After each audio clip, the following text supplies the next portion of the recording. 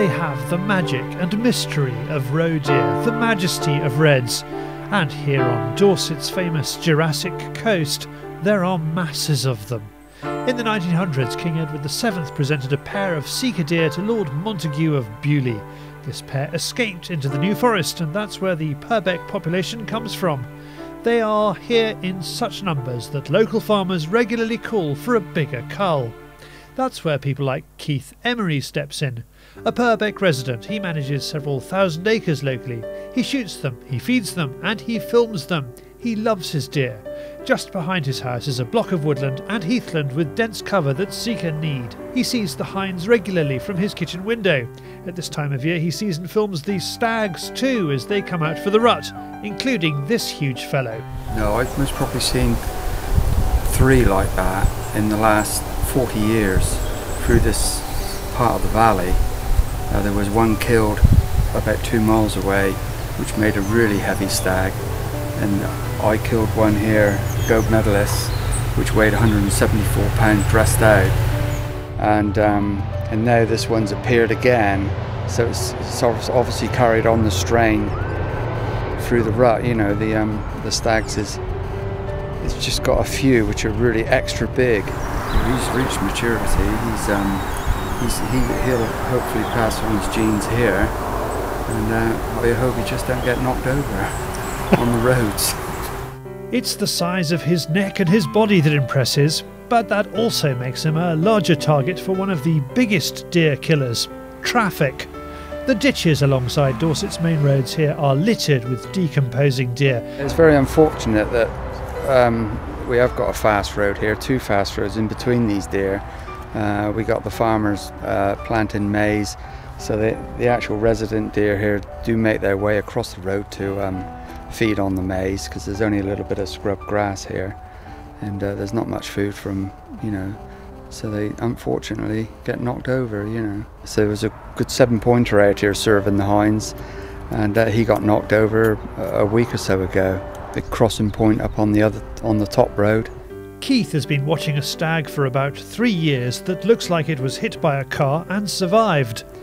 He, uh, he tries to mount the hinds. We've watched him trying to mount the hinds last weekend, and um, he's not very successful. He's, uh, he's, he's struggling. Actually, he needs to be taken out because we've got about three or four good stags here can look after these quite a few hinds. You know, most probably when he did have his accident, he most probably ruined his um, testicles, and um, therefore his antlers don't grow equal. You know, he's not a threat at all. He's just aggravating the hinds because he can't can't actually mount them you know, he's, he's just a nuisance, really.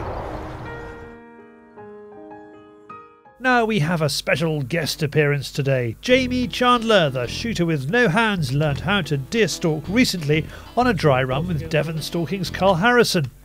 Now he wants to put his new skill into practice, so Keith has asked him along to try for a sika pricket.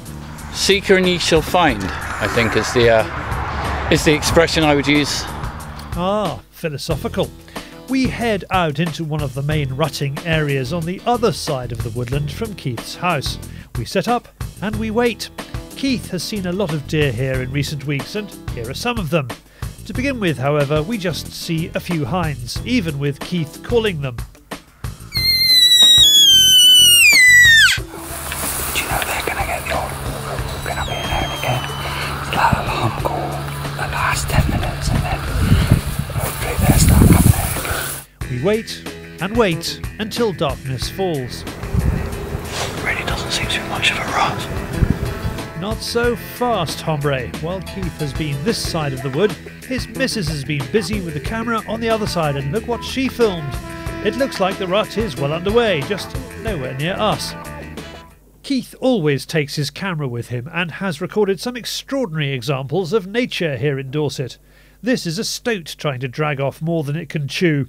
He has also captured some great footage of calling deer.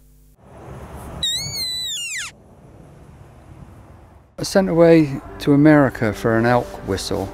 Um, it's quite successful, but sometimes it works and sometimes it doesn't. Sometimes you can call them and they'll they'll they'll come crashing through the woods in front of you, and other times you you if you see a stag up on the hill, You can call him and he'll actually look round and run away. What I've noticed is sort of two causes a real loud whistle and a real roar. You get a very loud beep on an alarm call, generally come from the hinds. This pricket comes into just a few yards. We hid in the bushes and um, he was so inquisitive, he'd come from 200 yards away. He must have smelt us or seen us, I don't know, but we was quite still. He come right up within 10 yards and uh, I had a client uh, just to take him out, you know. Sika deer are an incredible species, what's called a ring species, with our own native red deer and with North American wapiti. They're all different species in a ring around the world, and they can all interbreed. Native to Asia, it turns out that South Dorset is everything they want in a home, and they are here to stay. It's just, uh, they are on the increase, I would imagine. No, I think the stalkers can cope with it. We'll be putting up some of the background of this story on the Browning Hunting blog. Click on the link on the screen to have a look at it.